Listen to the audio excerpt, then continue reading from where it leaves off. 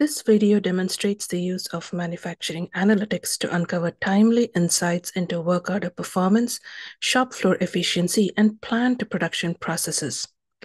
Here we have the manufacturing analytics dashboard where we can see plan to produce KPIs all in one place. At first glance, we can see that the number of pending work orders is on the higher end. Completed work orders have also been trending downwards. What's causing this delay? Let's investigate.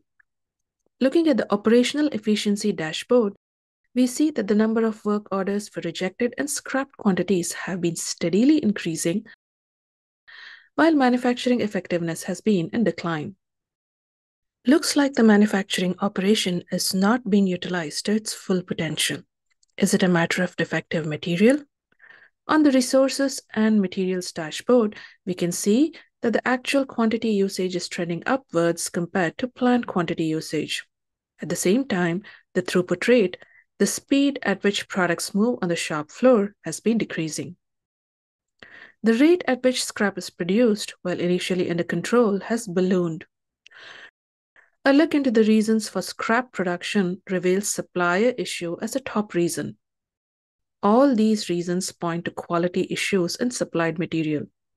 A deeper look into supplier metrics will reveal the same.